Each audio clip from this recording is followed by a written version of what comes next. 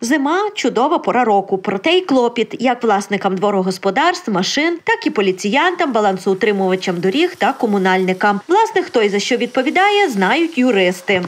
Згідно вимог діючих законодавчих актів в Україні є так зване поняття зимового утримання. Воно поділяється на механізоване, це спецтехніку, автомобіль, який здійснює посипання доріг, і ручне це коли відповідно, як правило, це пішохідні доріжки, здійснює посипання вручну працівники того чи іншого суб'єкту господарювання. Відповідальність за зимове утримання доріг розглядають з різних сторін, так щодо населених пунктів. Відповідальність е, міста, оскільки всі центральні вулиці, е, дороги, відповідно проїзна частина і тротуарні доріжки є власністю місцевого самоврядування. Він створює спеціалізовані підприємства, установи організації, які здійснюють зимове утримання на підставі е, договору згідно переліку вулиць. Друге, це відповідно здійснює так звані закріплена прибудинкова територія. Це е, відповідно багатоквартирні житлові е, будинки, яке їм належить на праві користування, власність, інші містобудівні е, документи. І третє, це відповідно суб'єкти господарювання, які є державні, комунальні, відповідно приватні. Якщо не здійснюють належне утримання автошляхів, адміністративна відповідальність.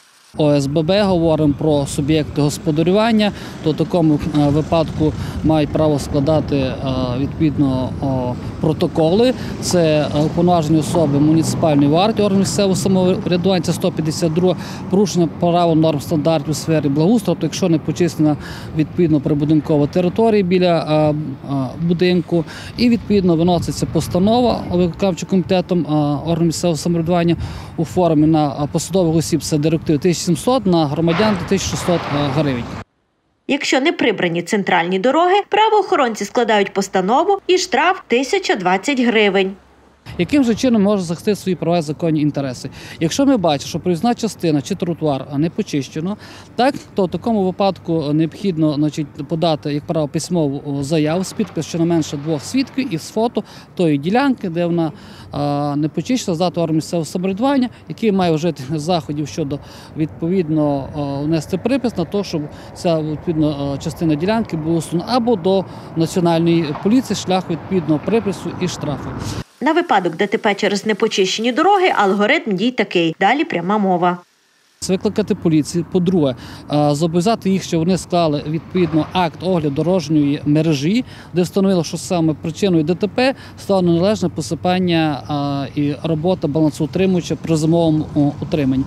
Звернутися до станції техобслуговування, щоб взяти калькуляцію пошкоджень механічних транспортних засобів, і відповідно подавати до суду на орган місцевого самоврядування і то обслуговуючого суб'єкту, який має здійснювати зимове утримання. Якщо ж сталася подія пов'язана із уже пошкодженням життя і здоров'я, знову ж таки виклик поліції і звернення до найближчого травмопункту для того, щоб зафіксувати які саме є ушкодження, відповідно е, взяти документи з е, аптек.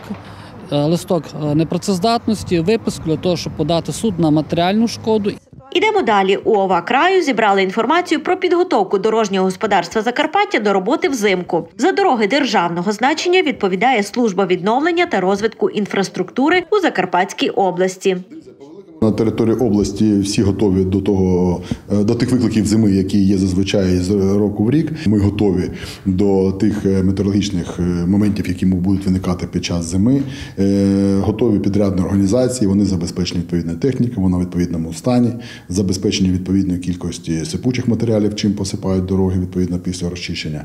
Тому по великому рахунку ми сьогодні спокійно скажімо так, відчуваємо і гарантуємо, що проїзд по всіх магістралях державного значення, по магістралях місцевого значення буде забезпечений. Наразі експлуатаційним обслуговуванням, у тому числі зимовим, займаються три підрядні організації: ТОВ Технобудцентр, ТОВ ШБУ 77 та ТОВ ПБС. А місцеві автошляхи це прерогатива державного підприємства Служба місцевих автомобільних доріг у Закарпатській області. Їх зимовим утриманням займаються три підрядні організації: ВКП Агрошлях Буд, ТОВ Будінвестальянс та ТОВ ПБС.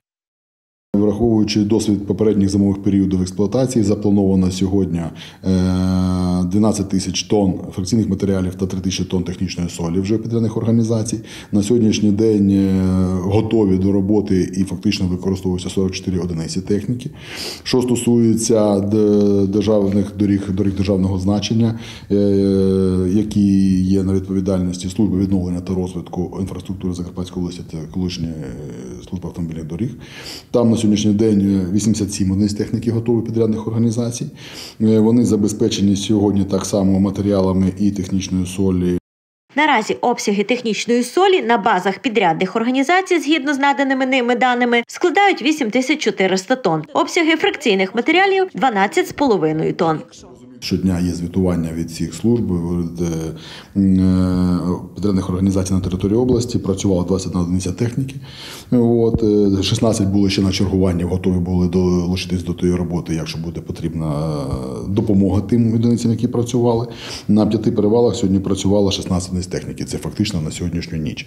Е, Якщо будуть якісь зміни по погоді, якщо ми очікуємо, сьогодні будуть е, сніга, то відповідно до викликів і до можливості будуть задіяна і більша кількість техніки.